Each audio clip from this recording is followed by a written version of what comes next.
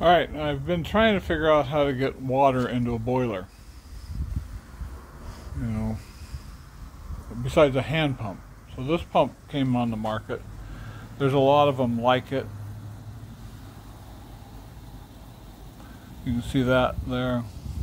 There's no switch on it. That's the only problem I have with it.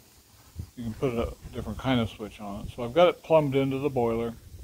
And I've got a mark right there. And I'm going to uh, plug it in. It's been pumping into the boiler, so it's 60 pounds. I think the boiler's at 60 pounds. Let me see. It might even be higher now. Oh, 50 pounds. Fire's going down. Well, I put water in it too. So, I'm going to pause this here. So I've plugged it in, and you can hear it running over here. Not much sound to it. And I'm just going to turn on the valve. You do need a check valve, of course, in it, right there. I'm going to turn on the, on the, so it should be pumping into the boiler now. So instead of using a hand pump, this works good.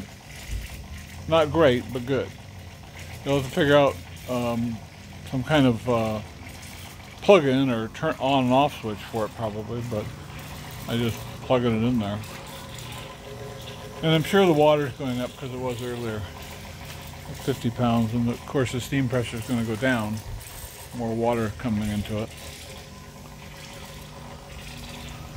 So it's just kind of a test to see if it works. Anyway, that's what I got.